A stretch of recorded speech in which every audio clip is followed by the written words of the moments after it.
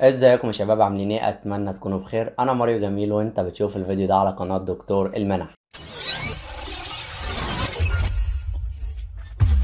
الفيديو بتاع النهارده هيكون مختلف شوية والفيديو ده هيكون مفيد ليكم وبالأخص للناس اللي بتقدم على منحة SBW برلين في ألمانيا. الفيديو بتاعنا هيكون بيتكون من ثلاث أجزاء. الجزء الأول هنتكلم فيه عن إزاي أنت هتقدر تقدم لمنحة SBW خلي بالك أنا شرحت طريقة التقديم كاملة. قبل كده في فيديو سابق هتلاقيني سايب لك ال link الخاص بالفيديو ده. موجود في صندوق الوصف أسفل الفيديو. ولكن في الفيديو بتاع النهارده هتكلم معاك. بعد ما حضرتك جهزت المستندات بتاعتك هتبعتها إزاي لمنحة SBW ده أول جزء هتكلم فيه معاك. تاني حاجة هتكلم فيها معاك وهي نتائج منحة البنك الإسلامي للتنمية. بعتولي إيميل بخصوص النتائج. الإيميل ده أنا هوريهولك خلال الفيديو بتاعنا. والجزء الثالث اللي هنتكلم عنه هو مفاجأة. المفاجأة دي هتكون لها علاقة بمنحة اس بي دبليو وهقول لك إيه سبب المفاجأة دي وإحنا بنشرح المفاجأة. طيب بالنسبة لأول جزء بالنسبة لمنحة SBW تعالى نروح على اللابتوب بتاعنا ونشوف إحنا المفروض إزاي هنبعت المستندات بتاعتنا للمنحة علشان خاطر نقدم عليها. دكتور المنح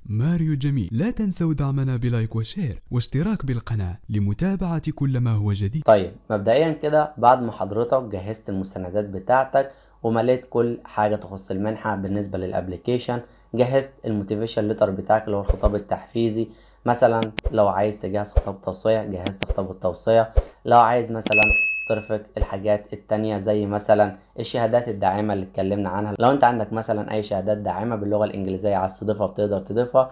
يعني جهزت كل المستندات الخاصة بالمنحة. المفروض هتعمل إيه بعد كده؟ حضرتك بتروح على البريد الإلكتروني الخاص بيك سواء كان Gmail Yahoo Hotmail ايا كان. يعني أنا مثلا عندي Gmail تمام؟ طيب هتيجي تفتح البريد الإلكتروني الخاص بيك وبتيجي هنا عند إنشاء أو اللي هي create لو أنت عندك النسخة بال English وبتضغط على create أو إنشاء بتفتح معاك الصفحة دي.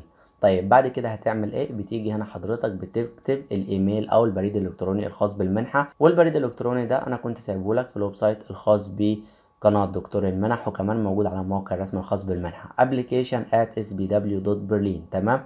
ده أول حاجة. بعد كده بتيجي هنا في ال topic اللي هو الموضوع بتاعك. أنت بتكتب SBW Berlin scholarship اللي هو أنت بتقدم على منحة SBW Berlin طيب بعد كده حضرتك هتعمل إيه؟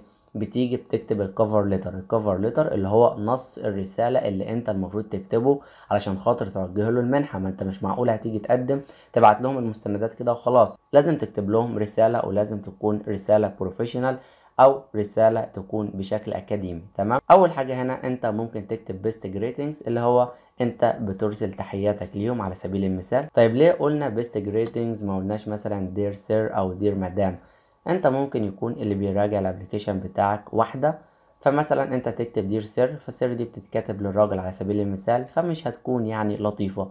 وممكن انت تكون بتبعت ال application والمستندات بتاعتك لشخص هو اللي بيراجعهم وتيجي انت تكتب هنا مثلا مدام فمش هيكون برضو شكل الايميل بتاعك لطيف. لكن best greetings اللي هو انت بترسل تحياتك فمش هتفرق مين اللي بيراجع ال application بعد كده بتيجي بتكتب عن نفسك بتكتب اسمك انت من فين انت كنت بتدرس إيه انت مقدم على اي تخصص في منحة SBW وليه انت مهتم بالمنحة ده كله ما يزيدش عن أربع أسطر. بعد ما خلصت نص الرسالة زي ما انت شايف المثال اللي أنا كاتبه لك هنا بتكتب له هنا بكل بساطة thank you thanks in advance whatever انت عايز تكتب إيه. بعد كده هنا انت بتيجي بتكتب اسمك تمام؟ طيب الخطوة اللي بعد كده إيه؟ الخطوة اللي بعد كده حضرتك هترفق المستندات بتاعتك. هترفق المستندات في صيغة PDF ولا Word زي ما تحب أنت ممكن ترفقهم ولكن يفضل سواء أنت بتراسل منحة ال SBW أو بتراسل أي منحة أخرى أنت بترفق الملفات بتاعك. الأفضل تكون نسخة PDF لأن النسخة ال PDF بترسل ال application بتاعك بتكون النسخة بتاعتك مرسلة بالشكل والترتيب الصحيح اللي أنت مرتبه في ال application أو في ال file بتاعك تمام؟ بترفق المستندات بتاعتك إزاي؟ بترفق كل ملف لوحده.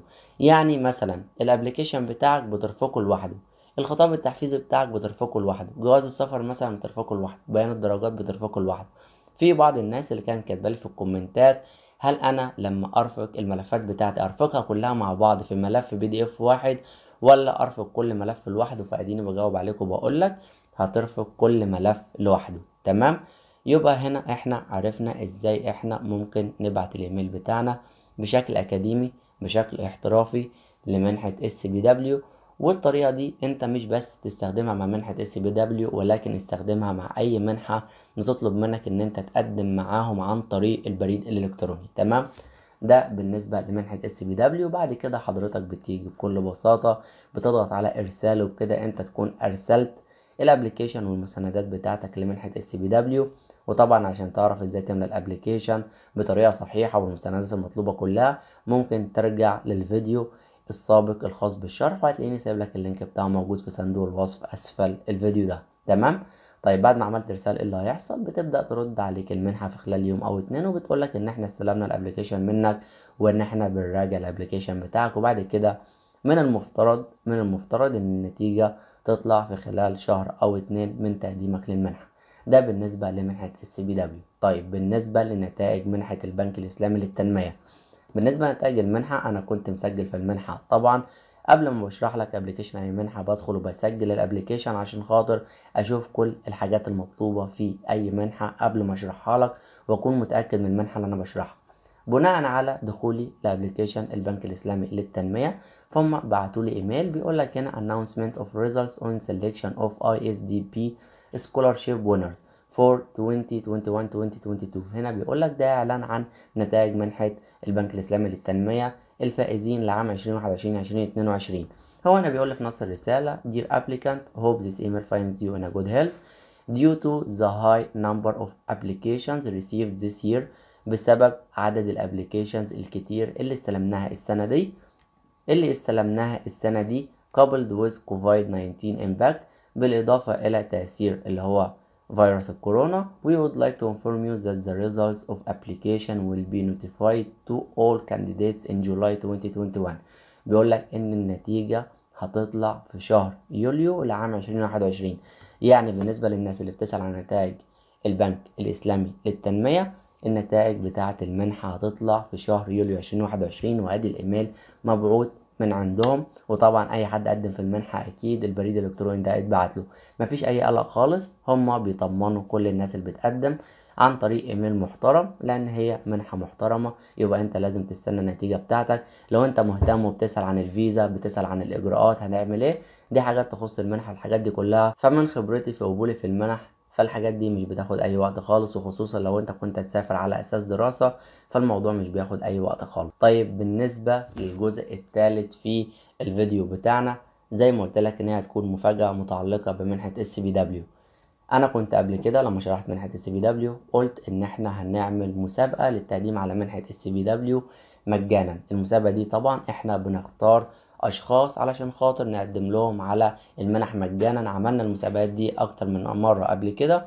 وكمان إحنا وعدناكم إن إحنا هنعمل مسابقات فيما بعد كتير. طيب المسابقة دي هتنزل شروط المسابقة على صفحة قناة دكتور المنح على الفيسبوك. ال link الخاص بالصفحة هتلاقيه موجود. أول link في صندوق الوصف أسفل الفيديو ده. يعني النهاردة التاريخ 8 يونيو يبقى الإعلان اللي هيخص المسابقة بتاعتنا هينزل تسعة يونيو. علشان لو انت بتشوف الفيديو فيه تاريخ مختلف تبقى عارف المسابقة هتنزل الشروط بتاعتها إمتى. طيب إيه هي مناسبة المسابقة؟ المسابقة بتاعت المرة دي مختلفة عن المسابقات السابقة لأن المسابقة دي أنا عاملها مخصوص بمناسبة حصولي على درجة الماجستير النهاردة. فأنا حبيت أعمل المسابقة دي لأن أنا يعني فعلا مبسوط فحبيت إن أنا أبسط الناس معايا. تمام؟ أتمنى لكم التوفيق واستنوا المزيد من الفيديوهات القادمة سواء عن المنح أو شرح للمنح. ما تنساش تدعمنا ب like تعمل subscribe واشتراك في القناه وتفعل الجرس علشان تتابع معانا كل ما يخص المنح وكل ما هو جديد. وشكرا.